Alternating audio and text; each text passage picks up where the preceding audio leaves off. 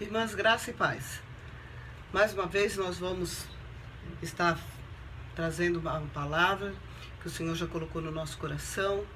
Estamos passando por um momento assim muito difícil, mas temos um Deus que é maior do que os problemas, maior do que toda dificuldade que a terra esteja passando.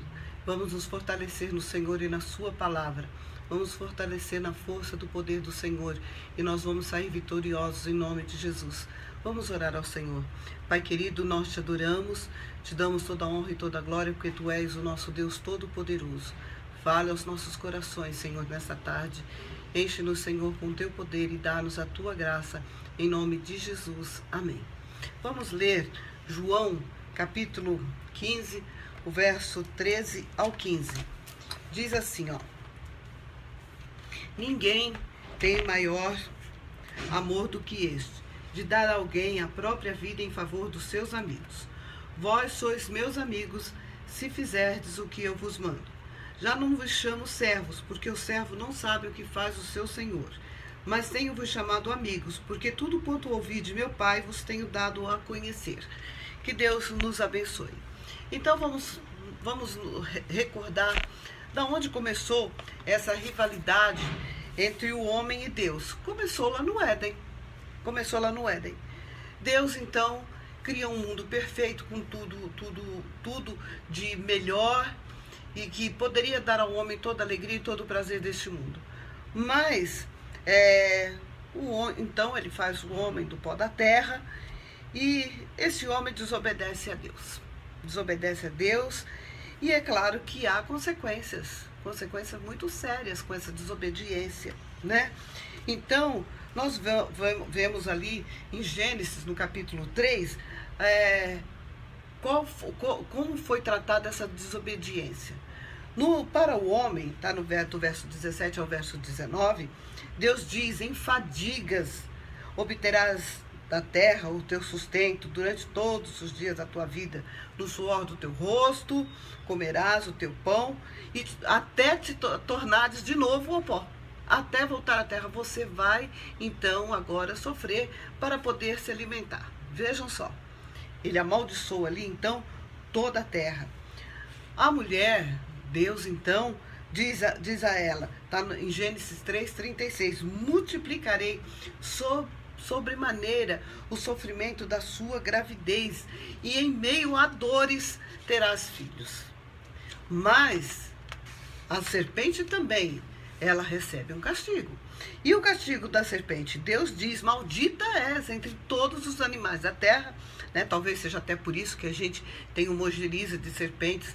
Eu não sei se alguém aqui gosta de serpente, mas é, é, é um bicho que eu. É quase que uma unanimidade as pessoas não gostarem, né?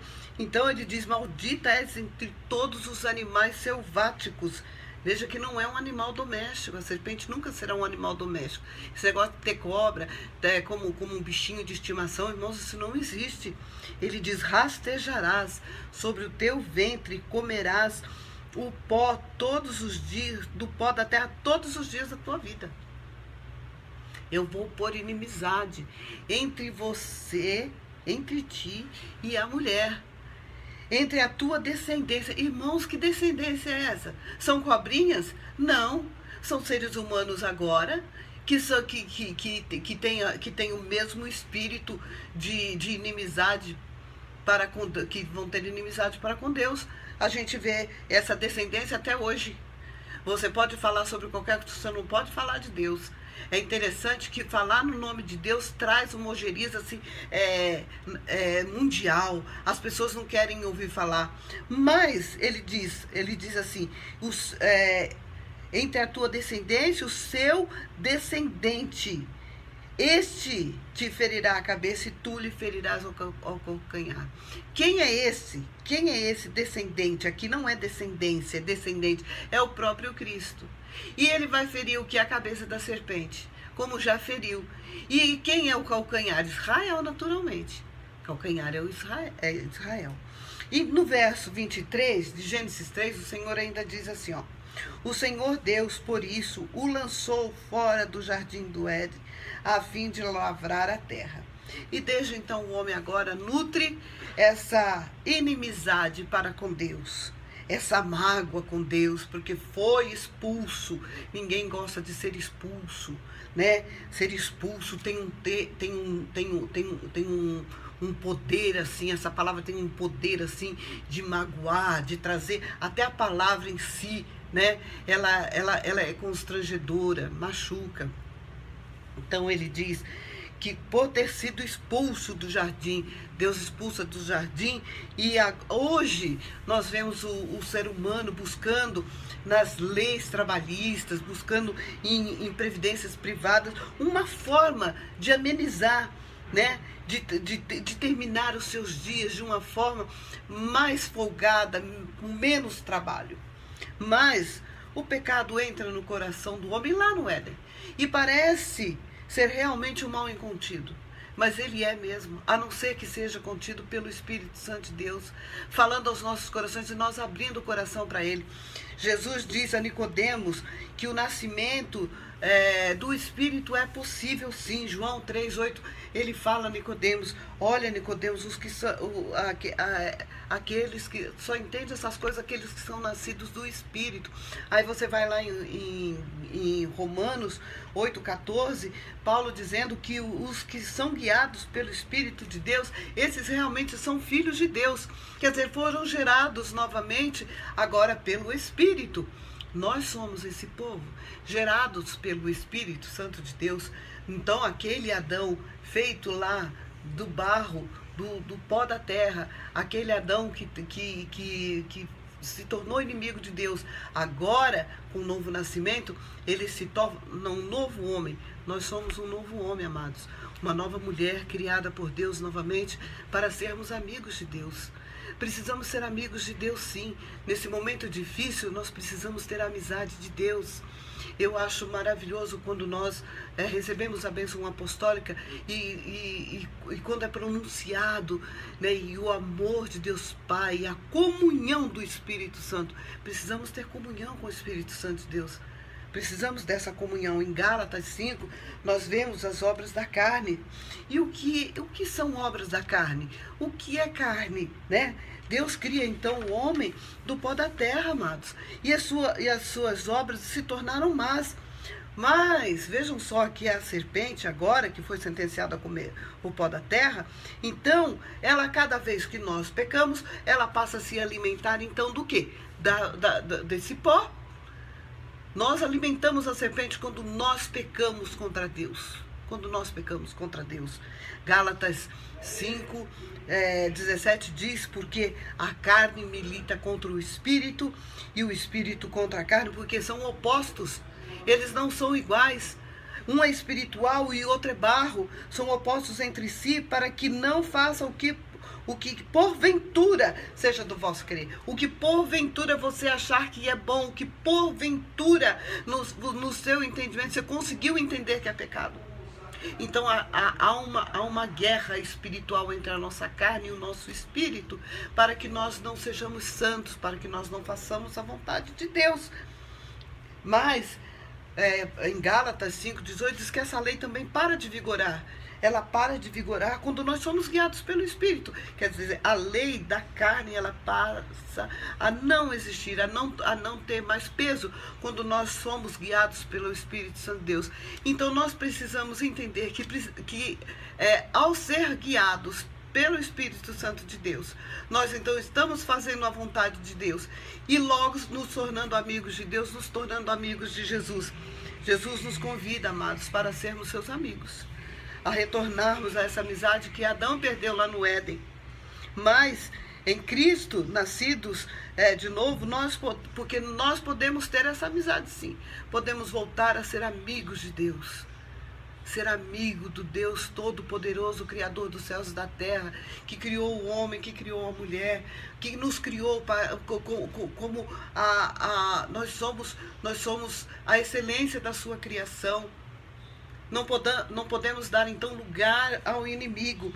Olha, considere, veja só, que é, nós temos agora um advogado. Vamos deixar de pecar? Que bom que fosse, mas não deixamos, infelizmente. Mas nós temos em Jesus um advogado que advoga as nossas causas e assim nós mantém a nossa ficha limpa para podermos continuar essa amizade com Deus. E ele não, não se lembra. Nós é, perdoamos e não esquecemos, mas, mas Deus perdoa, Ele lança no mar do esquecimento todos os nossos pecados. Então, considere o pecado, sim, considere que você é um pecador, mesmo sendo salvo por Cristo Jesus, ainda pecamos e precisamos dar nome ao pecado. Mentir é pecado, trapacear é pecado, é, ser, ser infiel é pecado, ser infiel com um amigo, ser infiel com o marido, infiel com a esposa, ser infiel com os filhos, seja lá com quem for, é é pecado sim. Aquelas pequenas trapaças, aquela, aquilo que nós colocamos os olhos, que nós não podemos colocar. Nossos, nossos olhos são santos. Aquilo que sai da nossa boca. Irmãs, irmãos, nós precisamos ter, um, ter lábios santos sim. Crente fala palavrão, não fala palavrão. Crente conta piada indecente, não conta piada indecente. Crente não é imoral. Crente não, não, não, não, não tem malícia na boca.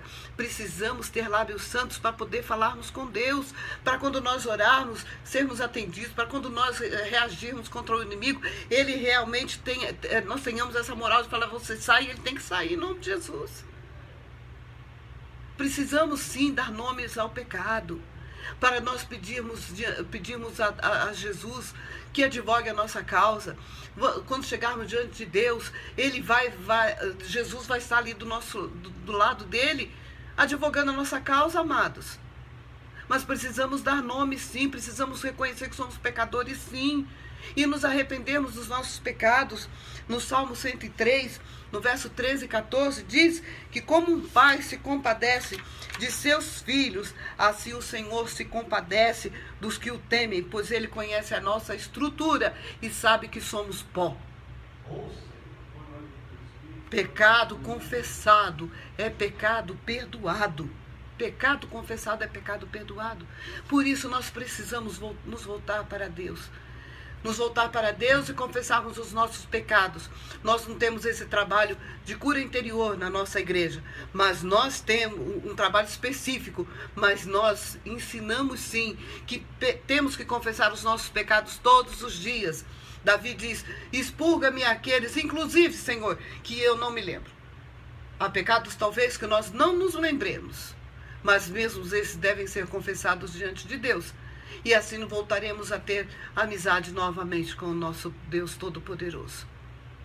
Amados, que Deus nos abençoe, para que possamos ser homens e mulheres de Deus fortes, cheios da graça do Senhor, com o nosso coração limpo diante de Deus, para que Ele possa nos usar, porque nós somos aquelas pessoas que Deus vai usar para abençoar outras.